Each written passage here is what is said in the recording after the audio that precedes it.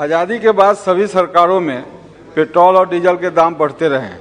जिस कारण मध्य वर्गीय गरीब लोगों को एक जगह से दूसरी जगह यात्रा करने में काफ़ी खर्च उठाना पड़ता है। जिस कारण लोग रोडवेज़ की गाड़ियों से यात्रा करने से परहेज करते हैं। मेरे लोकसभा क्षेत्र में लोकल ट्रेनों की संख्या काफ़ी कम कर दी गई है।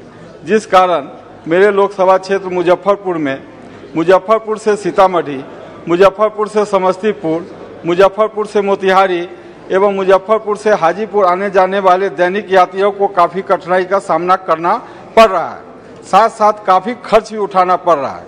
मैं आपके माध्यम से माननीय रेल मंत्री जी से मांग करना चाहूँगा कि इन रूटों में सुबह और शाम के समय में लोकल ट्रेनों की संख्या बढ़ाई जाए एवं छोटे छोटे स्टेशन पर भी उन लोकल ट्रेनों की ठहराव सुनिश्चित कराया जाए।